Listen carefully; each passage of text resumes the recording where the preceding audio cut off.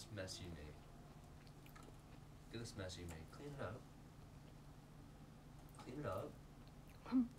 Look at this mess you made.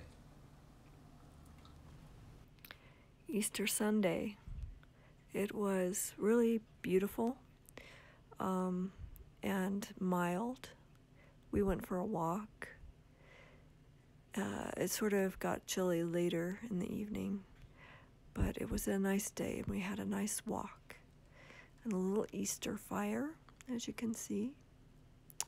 But it was all in all low key.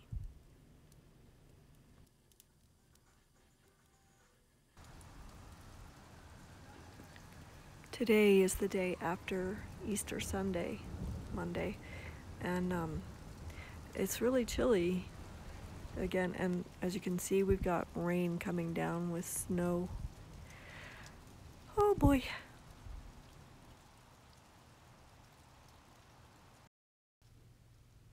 Is it bedtime, sweet girl? Is it bedtime?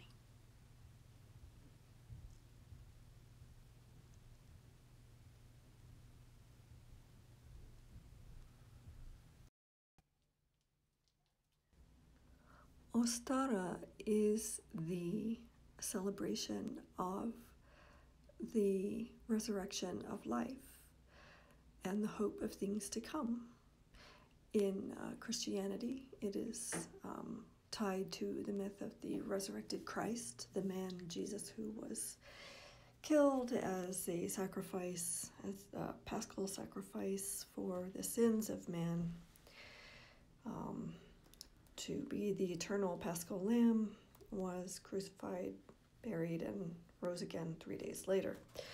Um, some of us may believe that, and um, if you do, I think that uh, I hope you find great, great faith and hope in that. Um, for for others of us, um, we dig Jesus. Jesus is just all right with me, um, and I love his teachings. And I don't know uh, what I think of the resurrection. It may or may not have happened. I honestly no longer know. Um, and I'm okay with not knowing. But I do know that life has um, cycles and that um, those are the important things. And Easter is the resurrection of the planet. Ostara uh, refers to fertility, um, the greening of the grass, the renewal of uh, seeds and flowers, longer days of sun. The solar, the solar king is returning, which could also be the victory of the light over the dark in the uh, myth of the resurrection of Christ. So it's all um, it's all there. All of the myths are there. Um, and as a woman past her uh, days of fertility, one of the things that I try to pay attention to is my health and wellness.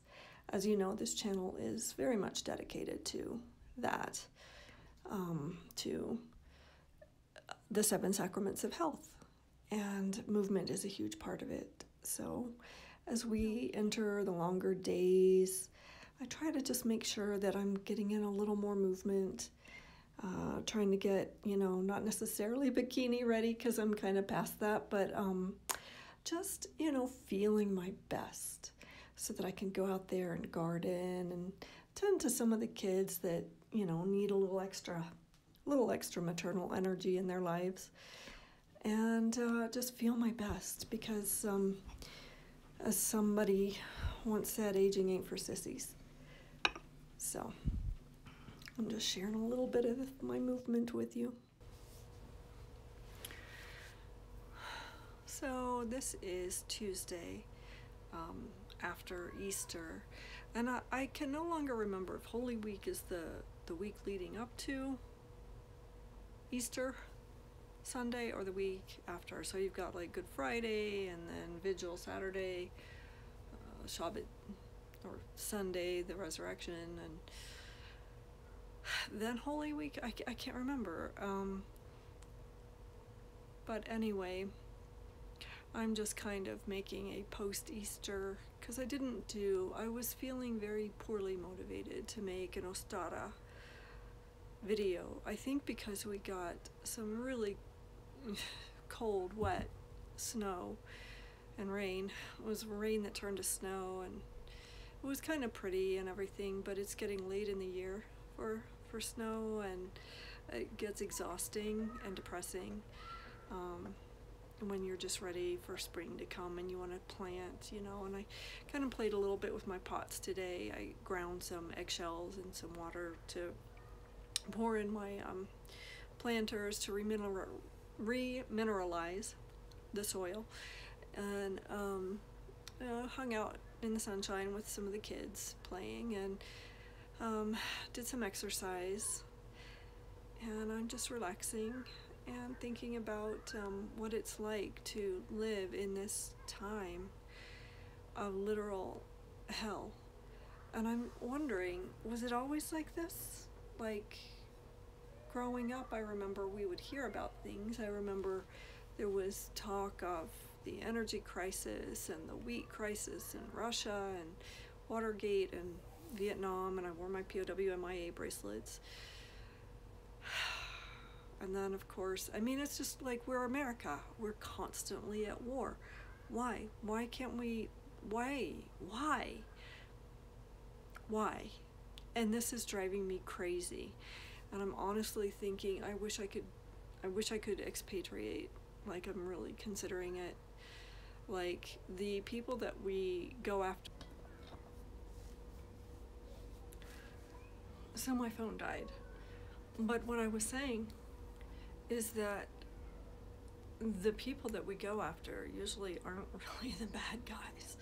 They're usually people that have decided that um, they want to have their own form of government, for instance, the way we do regime change all through Central and South America.